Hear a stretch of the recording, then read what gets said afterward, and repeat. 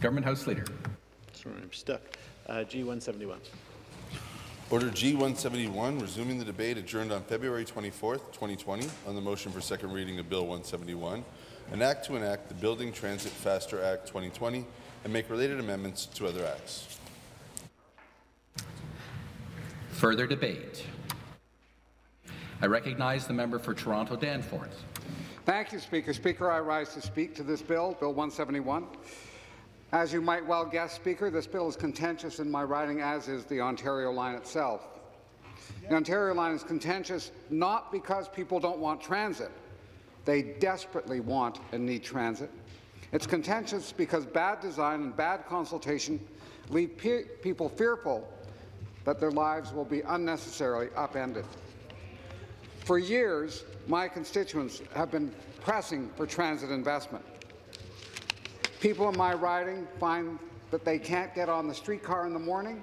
When they get on, they're packed in like sardines and they can't get on the streetcar to come home at the end of the day. People go to subway station to get on the subway to go to work and find they have to wait multiple trains before they can actually get on the subway train and get to work. And so when I go door to door talking to people about transit, it comes up constantly. When will something be done so that I can actually get to work in a timely way? How can that happen? And frankly, Speaker, a number of years ago when the City of Toronto came forward with its proposal for a relief line and held public meetings in my riding about the design of that relief line, there was a huge amount of optimism. It was not an easy process. The city actually consulted at length, held a number of public meetings, listened to the concerns and critiques of the people in my community, and ultimately settled it out. Meetings were quite rowdy. The direction of or the route of that line was changed in the course of those consultations as practical issues were pointed out by the community and in the end accepted and turned into reality by the City of Toronto. People knew that there would be disruption because we knew where the excavation holes were going to be put for the tunnel boring machines. Pape Avenue would have been shut down for an extended period or greatly restricted, and people's homes would be expropriated. In fact, people got expropriation notices. People were not happy about having their lives disrupted. Who is? But they were happy that finally something was going to move forward and they'd be able to get to work. And I want to point this out because I know there's some people who say, you don't like the Ontario line because you have a not in my backyard approach. This is a community speaker that has supported a major construction project going through it to deal with transit issues.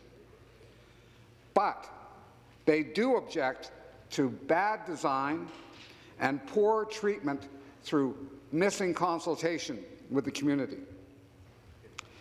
Before I talk about this bill, the content of the bill and its associated regs, regulations, I want to note some of the concrete problems that people in this community, my community, face because of poor design and poor consultation. In the south end of my riding, the Ontario line will come above ground for about two kilometres through residential area. This area has homes built in the late 1800s, so homes are very close to the existing rail lines. That's just the way things were done. And when people moved in, they knew that there were rail lines. They understood that. But we have an issue now with noise from trains, which people live with. If you're in my riding at rush hour and the trains are going by, you have to stop speaking.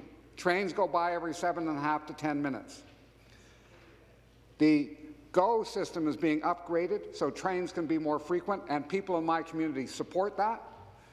They need the necessary modifications, the safety barriers, the noise barriers, but they understand the need for that increase in transit investment. But when you say we're going to have GO trains not every seven and a half to 10 minutes, but every three and a half minutes, and subway trains going past at every 45 seconds, it's going to be very difficult to hold a conversation outside. And I have to say to all of you, we've been through the consultations with Metrolinx on sound barriers. Substantial questions have not been addressed, and the community is deeply frustrated that they can't get answers to their questions about where sound barriers will go and how they will be upgraded in response to the concerns of the community. That is a substantial concern for people. How will you actually have a conversation outside? Jimmy Simpson Rec Centre, which is the major rec centre in the southwest quadrant of my riding, is at risk because you have to widen the railway right-of-way. It's possible that the centre will have to be taken down. In any event, you may well have trains immediately beside the west wall of that centre, changing the experience people are going to have inside. Fontbonne Ministries, it's a home for women who've had difficulty getting housing, they're fragile, they're seniors. With the widening of the right-of-way, you may well have trains right up against the sidewall of that ministry. Sisters of St. Joseph talked to me about the need to protect the women who live there and their homes. Pape Avenue School, just about the point where this train is going to come above ground, we don't yet know the impact there. Will there have to be an impact on the schoolyard, on the school itself? When I ask Metrolinx staff about this, in all three cases they say, we don't think we're going to have to do anything there. We think they're safe. I ask, can you give me a guarantee? Show me the document where these three places are protected, and I can't get that. Along the side of the railway lines, in a number of spots, are the park space that we have in that part of town, in an area that's parks deficient already. It's clear if you expand the railway right of way, we're going to have much smaller or no parks in that area. And in the north end of my riding, people felt that the process where they woke up one day, read the newspaper, and found out there was a subway train going through their street and that they may be expropriated was not an appropriate way to let people know that their lives were going to change. When the City of Toronto was doing its Relief Line North consultations, they had public meetings, they showed people a variety of routes, there was discussion, people had some sense, okay, this may be coming. But all of that was cancelled and simply people got a line on a map and noticed their lives were about to change. That is not good public management. That is not good consultation. Um, the Premier has said, or the Premier's ministers have said, they need to build the Ontario line above ground through two kilometres of my riding in order to save money. It's expensive going underground, and I don't argue that for a minute, Speaker. It is. But expense was certainly not on the Premier's mind when he announced in April 2019 that the Eglinton West LRT extension would be built, quote unquote, underground where it belongs. Now, we're talking about a four-lane highway going through Etobicoke Centre, and if you look at Google Earth, you can see the industrial plazas, the shopping plazas. We're not talking about putting uh, a large LRT right beside a residential area or through a residential area. You're going through a highway. But he felt it was important to put that underground.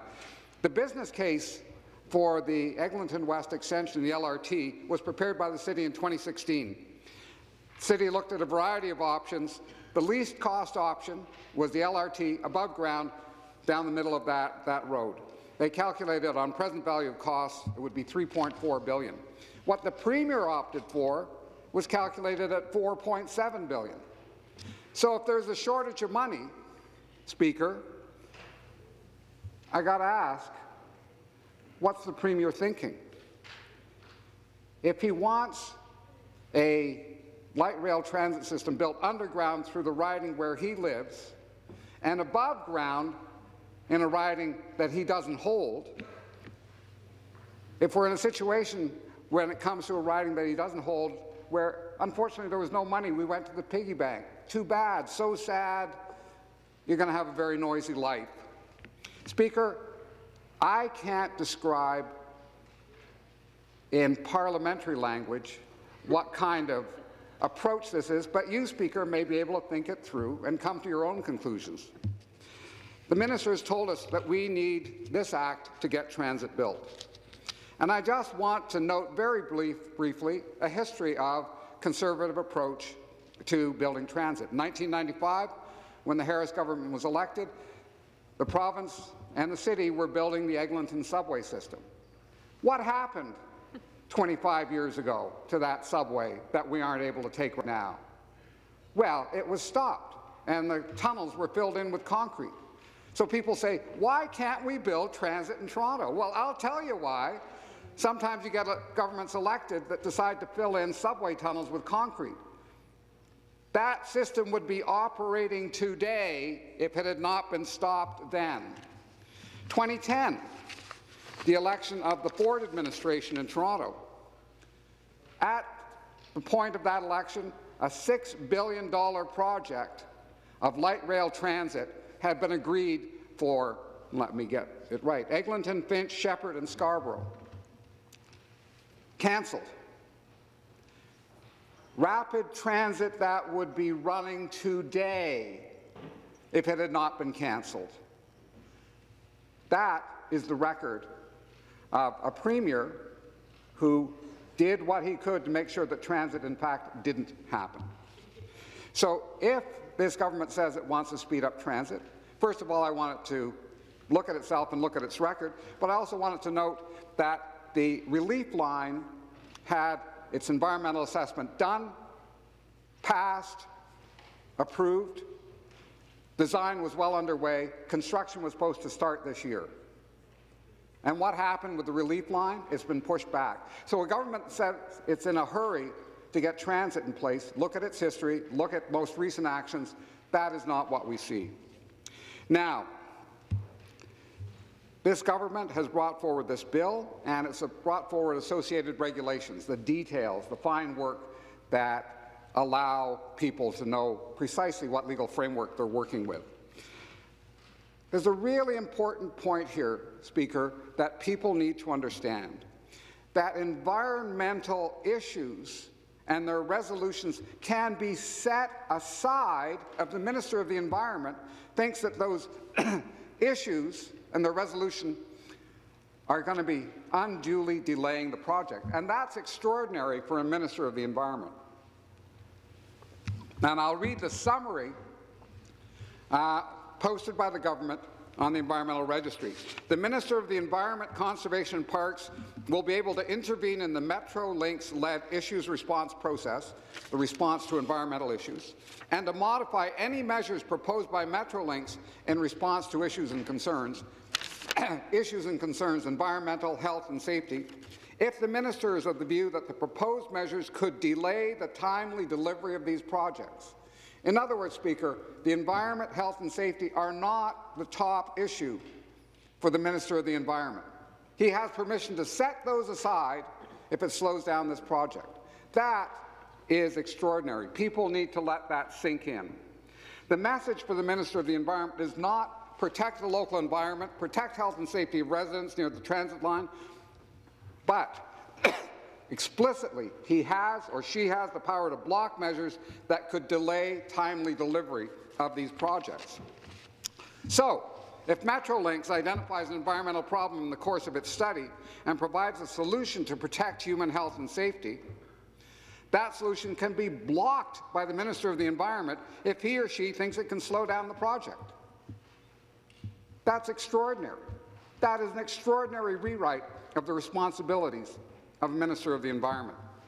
So I think the minister needs a new title. Uh, the Minister of Rubber Stamp Approvals, the, the Minister of um, expediting projects and setting aside concerns, the Minister of go to sleep now, little baby, don't you cry, everything's fine. Um, I think it's amazing that this would be put forward by any government, frankly. Um, I also want to talk about the fact that this project is being set up the environmental assessment is being set up so you can have early works and later works. So that you can get an approval for some early works and then you can start this project without having done a full environmental review of the impacts of this project. Speaker, first of all, this is an $11 billion project. If you are proceeding with an $11 billion project and you've made a mistake in the first stage and only caught it later on, then you're going to be stuck with some very expensive redoing. When I spoke about this last week, I talked about a saying that carpenters have, which is measure twice and cut once. And you know what, Speaker? It's an amazing thing. That actually makes a lot of sense. And what's being put in place here is a system where you can cut as much as you want and you figure it out later and you might have to glue it all back together in, if you can. Some might say, okay, well, the early works, we're just talking minor stuff, right? Things that won't have a big impact on people's lives or the cost of this project. But I want to read the definition of early works because, you know, they're actually fairly substantial. Early works means any components of the Ontario Line project that Metrolinx proposes to proceed with before the completion of the Ontario Line assessment process. You know, that environmental assessment process, mm, rubber stampy sort of thing. Um, so components such as station construction, rail corridor expansion, utility relocation, or bridge replacement or expansion. We're talking early works. We're talking some pretty big projects. In fact, it leads to the question, well, what's left once you've done all that? Um, so what happens if this early work poses problems when you do the environmental assessment later for the project as a whole? Are we going to have a minister who's been told, get it done and get it done now, say, oh no, we have to stop for a minute, we have to correct the errors we made, fix things so the environmental problems, the health and safety problems are dealt with. Speaker, there is at least one spot on the Union Pearson Express route, and there may be others, where safe sound barriers were promised by Metrolinx and never put in place. Why? Because they had put in place another structure earlier that didn't have the strength to support the sound barrier. Too bad. So sad. I feel badly for the people who are having to put up with noise because, in fact, they messed up on design. And Metrolinx shows no urgency about replacing that structure so you can have the sound barrier that was required in the environmental assessment. Speaker, in many ways, I think what we're seeing is a bill and associated regulations being put together to protect Metrolinx, protect the province, protect the private sector proponent, and not to protect the community and the environment. That is not the way things should be done here in Ontario. That is a major problem. I want to note that my colleague from University Rosedale, our transit critic, had some interesting things to say about this bill just the other day, and I want to repeat some of what she had to say. I want to respond, and I'm quoting her, I want to respond to the Minister of Transportation's remark, his government is working in partnership with the City of Toronto. Let's be super clear about what that actually means. Yes, the City of Toronto, with a gun to their head, agreed to support these new transit projects on the condition the rest of the transit system was not taken away from the City of Toronto against their consent. you know, that's pretty powerful incentive. I won't take away your subway system if you agree to what I put forward. You've got a nice store here, Mr. Mayor. Shame if something happened to it.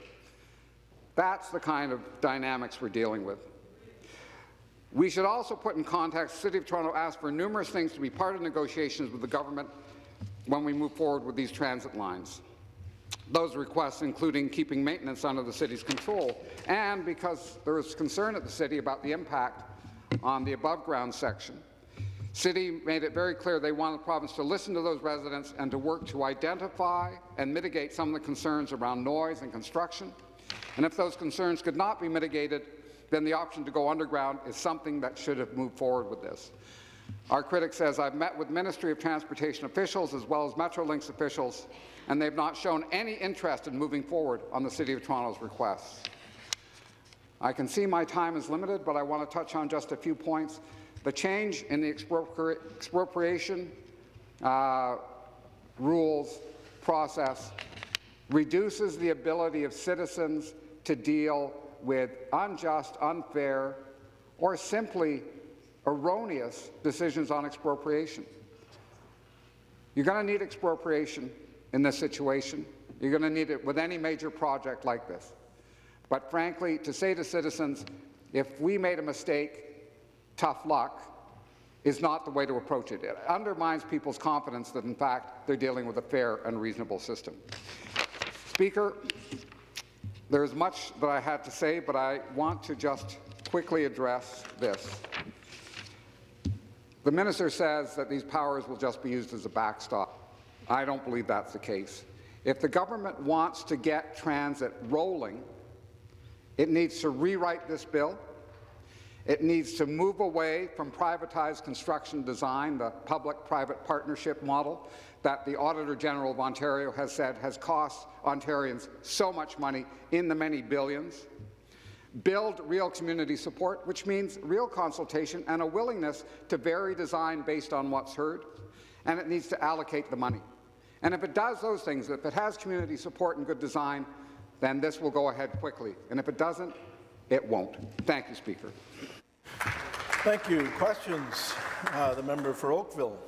Yes, thank you very much, Mr. Mi- Uh, Mr. Speaker. I, I personally take the GO train and subway every day to Queen's Park, and I can tell you that the overwhelming majority of commuters that I talk to, and I do talk to them on the GO train and the subway, are supportive of our government's plan uh, with respect to transit.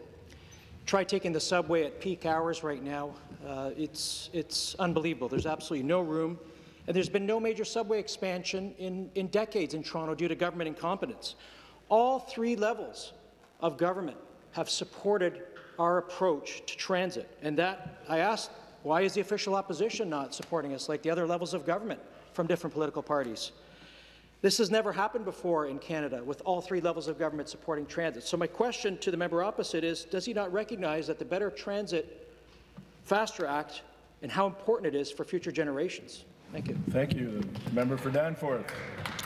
Thank you, Speaker. Um, there are a few points that, that I'd like to address. First off, I support transit expansion. My party supports transit expansion. When you canceled the Eglinton, when your party canceled the Eglinton subway back in the 90s, we opposed that.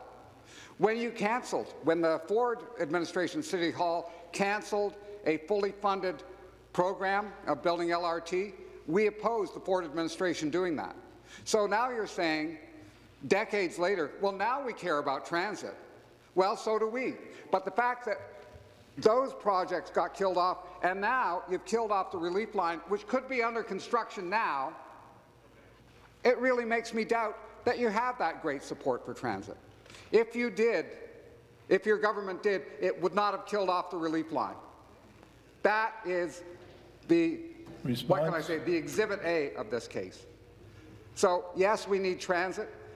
We're going to have to see what can be made out of the Ontario line, revamp it, Thank you. deal with the design issues. Thank you. Question, the member for London Fanshawe. Thank you, Speaker, and I want to thank uh, the member from uh, Toronto, Danforth, for his um, contributions to this debate. And we know that, I mean, transit is an issue throughout Ontario.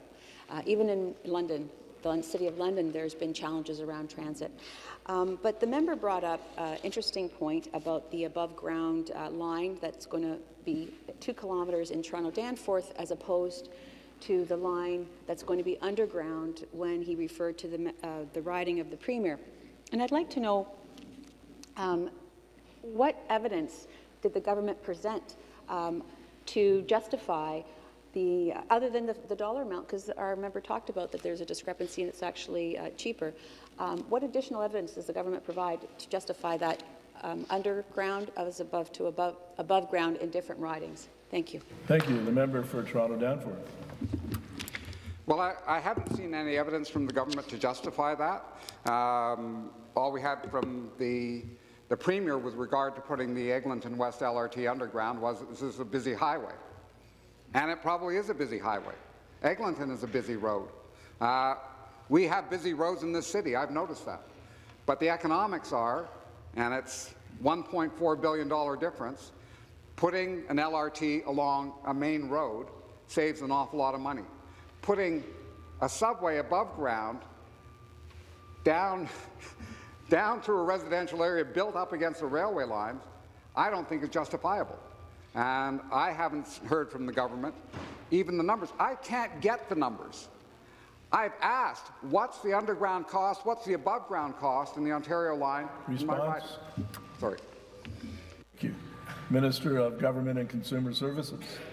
Mr. Speaker, I have to join the debate, debate today, excuse me, and ask a question of the member from Toronto Danforth. You know, I heard him during his debate talk about his concern over noise. And through the years, we've agreed to disagree on certain things. But when I heard him today speaking about his concern of noise, I can't help to be a little heartened because I have to ask the member from Toronto Danforth, are you going to exercise that same concern in rural Ontario when it comes to industrial wind turbines and the noise that's created for the people that live within 550 metres of those turbines? Member for Toronto Danforth. Yeah. I appreciate the question from the minister. Um, it's a salient question. I think there does need to be a, sta- a, a barrier in, in distance between a windmill and a home. And I would ask that the same criteria be applied to the Ontario line in my riding. At 500 meters, you'd have to go underground. So in my riding, we'd accept 500 meters. We'd accept it today. Offer given, offer taken. Thank you. Question, the member for London West. Uh, thank you, thank you very much, Speaker. I want to uh, thank uh, my colleague, the member for Toronto Danforth, for his remarks. And uh, he ended his uh, his uh, speech with with some very serious cautions about engaging or expanding three or P3 models of transit building. He mentioned the Auditor General's report, which found that taxpayers are paying significantly more for P3 projects than they would if they were publicly funded. I'm interested in hearing his, his thoughts about uh, the P3 model and whether this is a, a, an appropriate way to, uh, to proceed with transit projects in Ontario. Toronto Danforth. Yeah, I, I appreciate the question uh, from my colleague. No, obviously, I don't think it's a good way to proceed. What we're having is a rewrite of environmental assessments to accommodate P3s.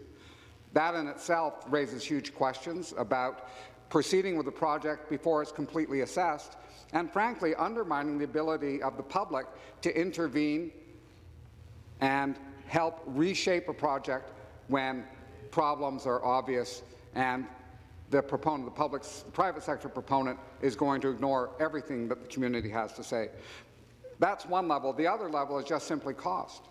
We've looked at the Eglinton Crosstown, which is a P3, P3s were, or these public-private partnerships were billed as taking all the risk out of public hands and putting it in private hands and making sure things got built on time. Response? It's much slower than promised and it's way over budget. Thank you. The member for Flamborough-Glanbrook. Thank you, Mr. Speaker. And Mr. Speaker, uh, my question, of course, is to the member from Toronto Danforth.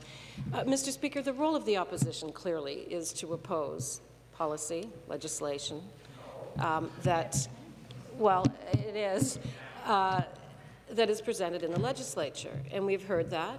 Uh, members across the aisle have opposed almost every aspect of the Building Transit Faster Act, despite the fact that if you travel anywhere in the City of Toronto, you are forced to deal with increasing congestion.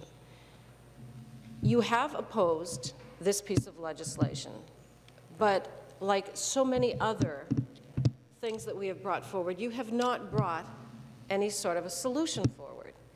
What is your proposal Question. to get transit projects built faster in the City of Toronto? Member for Toronto Danforth. Well, I, I, I appreciate the question from the member. Um, I guess there are a few things. Don't cancel projects that are ready to be built. So the relief line was ready for construction. We'd be under construction now if you hadn't canceled it. So that's one suggestion. When you've got a shovel-ready project, build it. That isn't what's happened. I think we'd have less congestion if you decided to go ahead with the project that was there, but you didn't. Don't cancel projects like the, uh, the light rail transit that had been proposed and cancelled in 2010 by the Ford administration in the City of Toronto. We would have a whole bunch of transit built and operating. Don't stop subway construction that's already underway and fill the tunnels in with concrete if you think you're in favour of transit. If those two things Response. in 95 and 2010 had not happened, we'd have a lot more transit in the city and much less congestion. So when I have Thank this you. government come and say, Thank you. We have time for a very quick question and a very quick answer. Question. Member for London Fanshawe. Um, So I'm going to uh, concise my question. Uh, This government does not have a good track record on public consultation. I wanted to ask the member, um, what advice would he give the government in order to engage the public better around consultation with this massive transit project that they're proposing? Member for Toronto Danforth.